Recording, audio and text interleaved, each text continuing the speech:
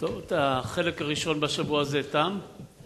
אני, לפני שאני אפרד, אני לא אתאפק להגיד כמה מילים על מה ששמענו כאן, ואחרי כן אני מזמין אתכם לא לשכוח ביום רביעי ב-12 לחודש משמונה וחצי בבוקר עד שמונה וחצי בלילה, אם זה יהיה בקצב הזה זה יהיה יותר ארוך, אנחנו הולכים להמשיך ולדבר על הנושאים הללו. אני רוצה להגיד מילה אחת על בעניין הייצוא שהיה פה עניין מרכזי.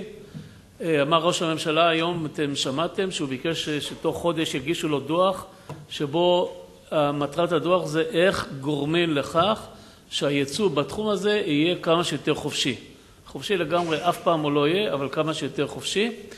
ובניגוד לחלק ממה שהיה אפשר ניתן להבין פה, מה ששמעתם, אף אחד לא הולך לעצור את זה.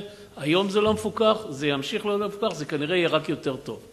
מנכ"ל משרד הביטחון התבטא לפני כמה חודשים על, על העניין הזה של הייצוא, הוא דיבר על, על מה שאנחנו קוראים כלים התקפיים, שזה כבר סיפור אחר לגמרי, למרות שטכנולוגיות זה טכנולוגיות, אפשר לעשות בהן כל מיני דברים, אבל אין כוונה בכלל. אנחנו מדינה עם שוק פנימי קטן בכל תחום, זה לא רק בסייבר, עם שוק פנימי קטן ואין שום, שום יכולת ליצור פה שום מרכז טכנולוגי בשום תחום אם נתבסס על השוק הפנימי, ועל זה בנוי כל ההייטק שלנו, שדרך אגב בנוי על השקעות ממשלתיות כבדות, פי כמה יותר ממה שבזמנו, בשלב הסטארט-אפ, השקיעו קרנות הון סיכון, והתהליך הטבעי הוא הפוך, זאת אומרת המדינה משקיעה בתחום, מעמידה אותו על הרגליים, ואחר כך השוק עושה את שלו, אבל הוא צריך קודם לעמוד על הרגליים.